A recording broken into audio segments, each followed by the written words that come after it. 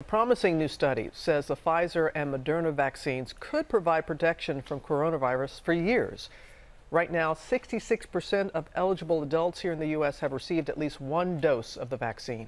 Eva Pilgrim is at the vaccination site at the Javits Center here in New York. Good morning, Eva.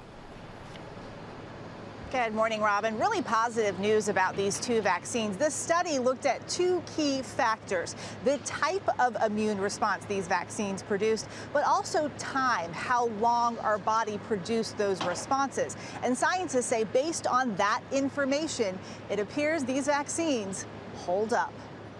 This morning, another development in the fight against COVID. A new study finding that the Pfizer and Moderna vaccines could offer significant protection that could last years.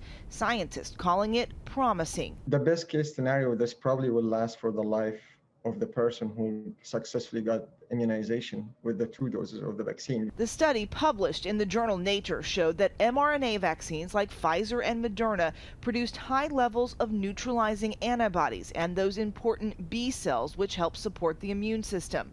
But instead of peaking after a week or two, researchers found nearly four months later there was still a strong immune response, essentially training the body long term to fight off infection.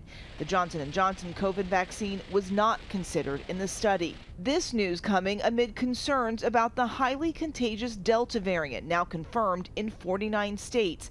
In LA County, the largest county in the country, officials are recommending all residents wear masks indoors to protect against the Delta variant. And areas with low vaccination rates seeing the variant spreading rapidly.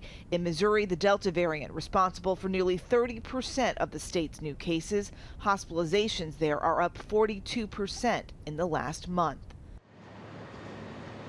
And the variant's still the wild card here. The scientists in that promising study say, yes, the vaccines hold up well right now, but how they perform in the future really depends on how this virus mutates and those variants. Robin. And Eva, there's an unrelated new study out of the UK about mixing vaccines. What can you tell us about that?